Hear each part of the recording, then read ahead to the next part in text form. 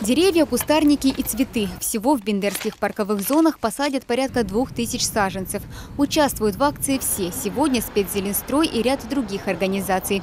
Ранее саженцы выдали горожанам и сотрудникам учреждений для озеленения внутридворовых территорий.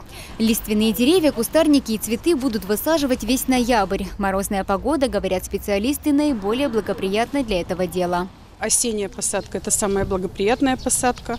Как правило, это и приживаемость гораздо лучше. А, это уже из практики наших озеленителей мы видим. Виды саженцев выбирали тщательно по продолжительности цветения, если это кустарники, по устойчивости к болезням и территории, где будет посажено растение. Один из новых видов – метасиквоя из рода хвойных. Она славится тем, что с холодами скидывает хвоинки, как лиственные деревья.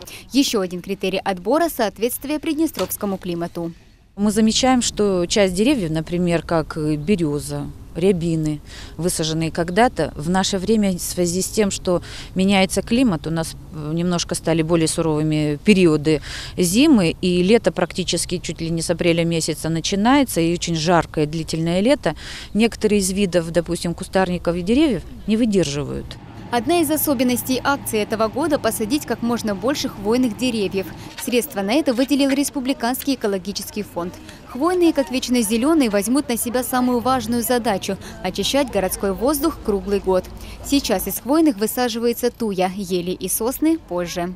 Мы планируем высадить э, сейчас в ноябре порядка 10 тысяч деревьев по республике и дополнительно еще э, чуть попозже, в то время, которое благоприятно для высадки хвойных деревьев, мы планируем высадить еще 4,5 тысячи хвойных насаждений. Приживаемость саженцев в последние годы хорошая, говорят специалисты. Положительные прогнозы дают и сейчас. В республике разрабатывается программа по созданию больших лесных массивов. Они будут располагаться вокруг городов и районов. Создание таких зеленых каркасов позволит улучшить экологическую ситуацию в городах республики и предоставить населению больше мест для отдыха.